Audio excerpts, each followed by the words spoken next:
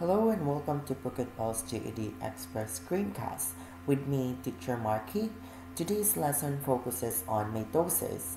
On the previous discussion, discussion you've learned about cell division and cell cycle. And on the cell cycle, after interphase, we have their mitosis. So at the end of the discussion, every one of you is expected to enumerate, describe, and explain the different stages of mitosis. So we start with the definition of mitosis. So based from the what was discussed last time, mitosis is being preceded after the interphase stage on the cell cycle.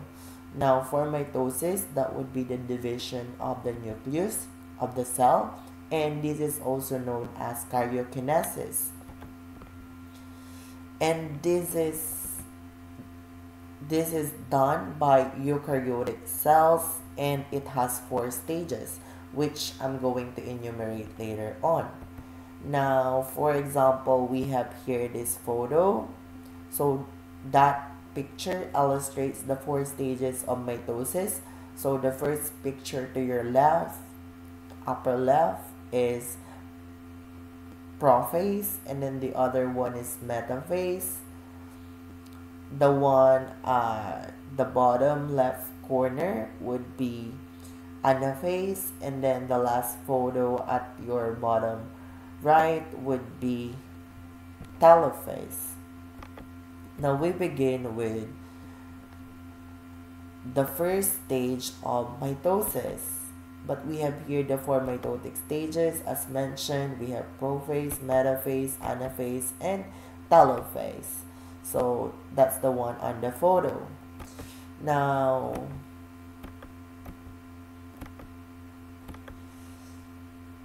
let's have the first stage that is prophase. For the prophase stage, it is divided into two stages. So we have the early prophase. On during the early prophase stage, the chromatin in nucleus condenses to form visible chromosomes.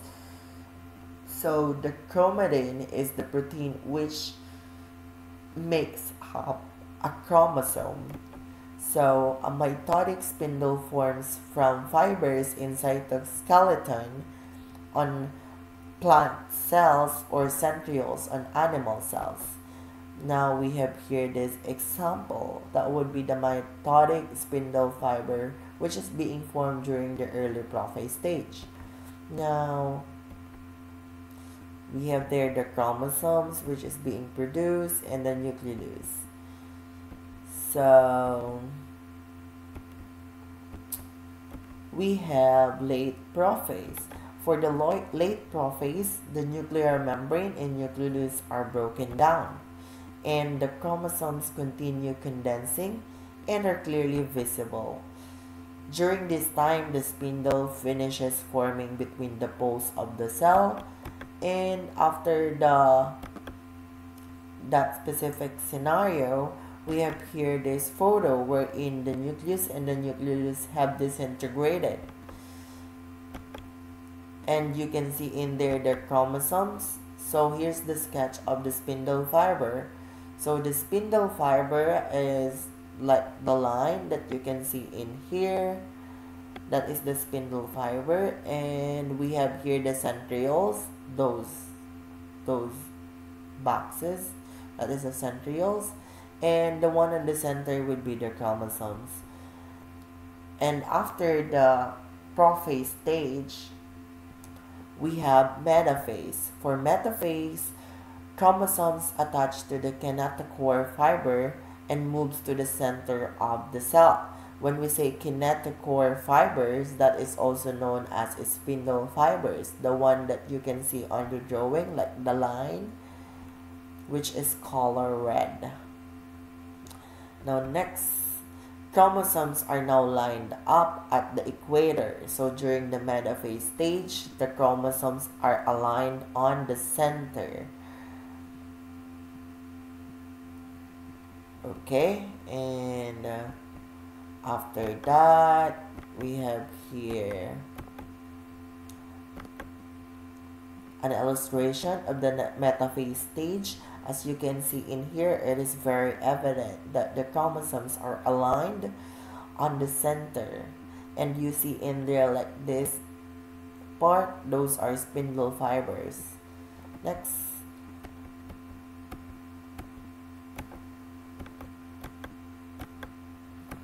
We have anaphase. After metaphase, we have anaphase stage. This stage occurs rapidly and during this time the sister chromatids are pulled apart to opposite poles of the cell by kinetochore fiber. So during this time the chromosomes are separated from each other. Unlike with the metaphase stage, the chromosomes are aligned at the equator. During the anaphase stage, the chromosomes are moving far from each other, going to their separate poles. Now, we have here an illustration about anaphase stage. As you can see in here, the chromosomes were separated from each other, going on this side and going on that side. Next.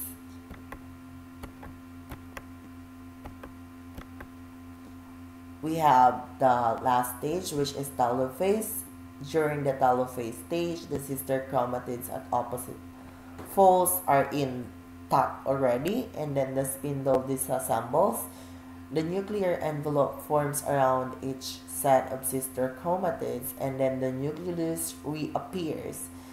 And then during this time, cytokinesis occurs. This is like the post stage after telophase and then chromosomes reappear as shown as chromatin. So from from the chromosome, it will turn into a chromatin. And then I'll discuss the post stage. Right after telophase, we have cytokinesis. Cytokinesis means division of the cytoplasm.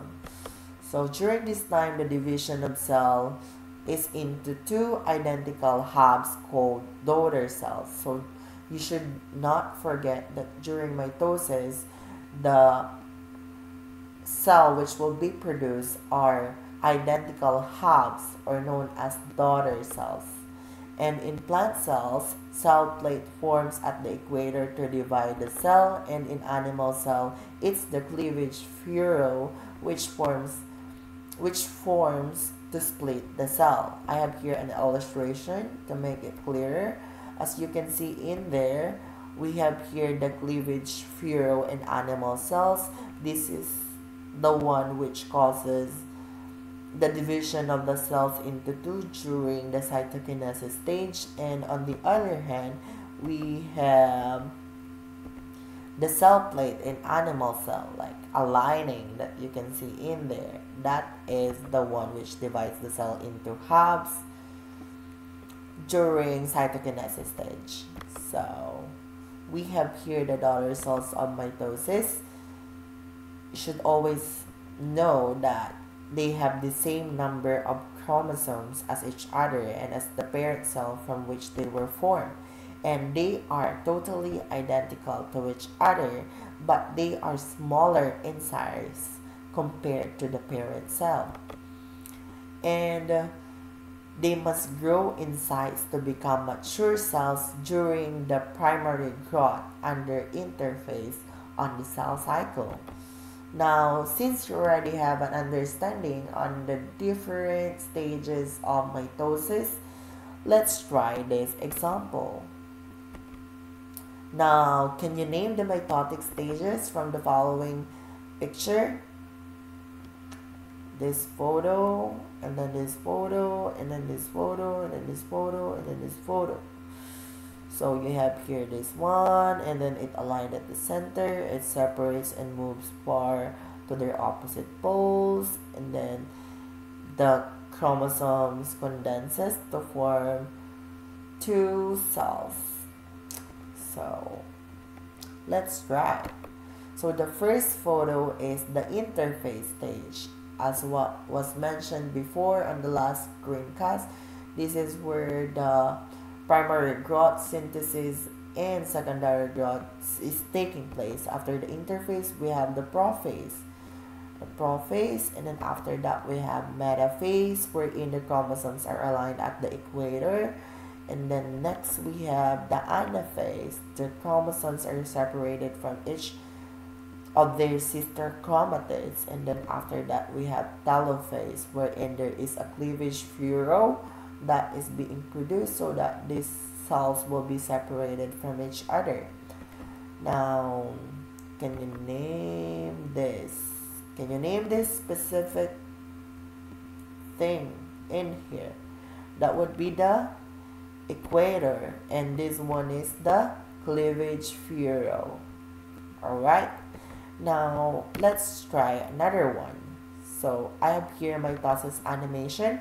Name each stage as you see it occur. So just look at the animation and then try to name the stage as you see it occurs. You can play it several times, it's up to you.